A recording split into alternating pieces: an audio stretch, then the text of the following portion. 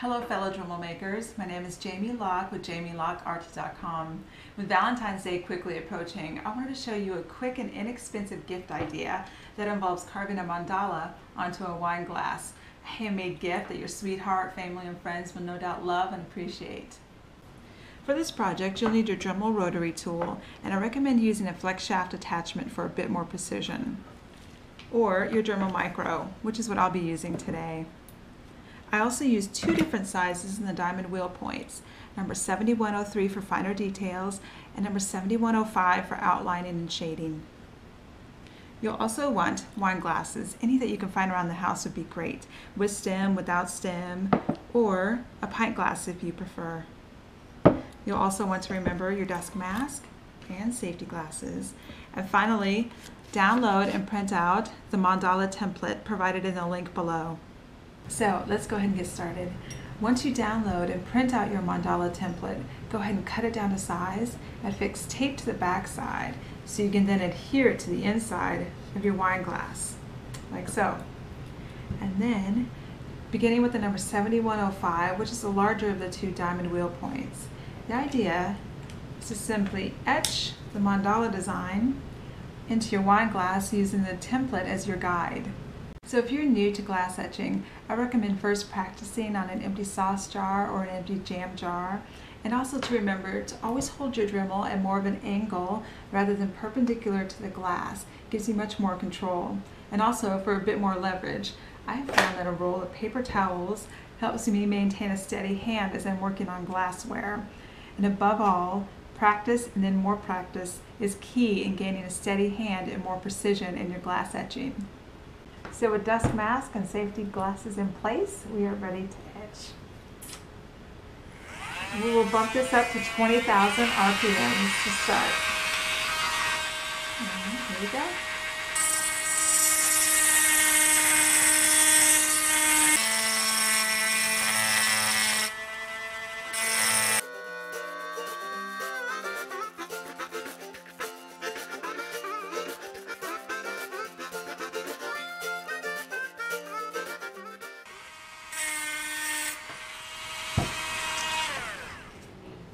There we have it. We have now etched a mandala onto the wine glass.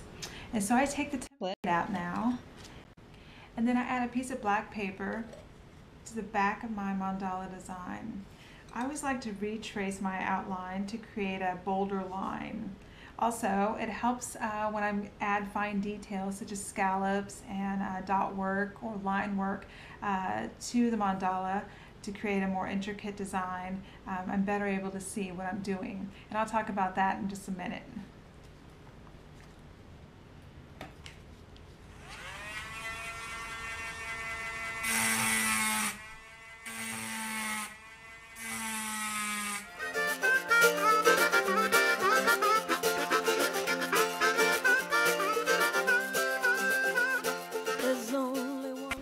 So here we are. After tracing the mandala with my Dremel, the design is a bit more bold on the glass.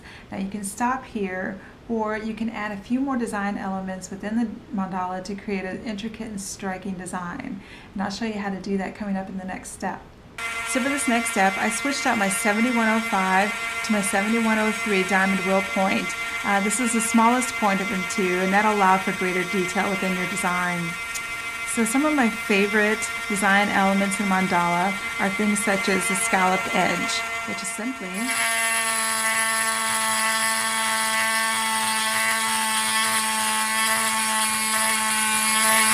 that. I'm going to take that design all the way around, add into each triangle. Another one is one scallop scallop edges on top of that.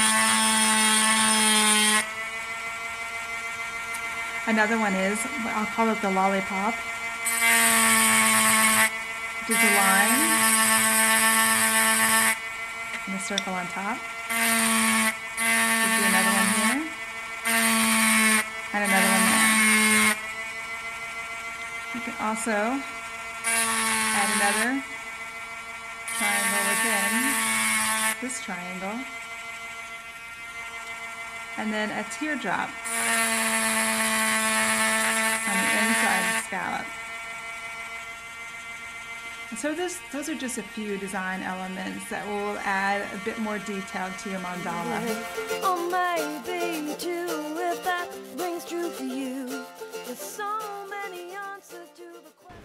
So there you are, the same mandala, which is a bit more intricate detail. The possibilities in adding to this design are endless. And either way, this handmade Dremel gift will no doubt delight your favorite wine or beer enthusiast. I hope I've been able to inspire you here today. I would love to see your completed hand-etched mandala wine or pint glasses. If you're on Instagram, make sure you tag your photos with hashtag Dremel Gifts. Until next time, happy Dremel making.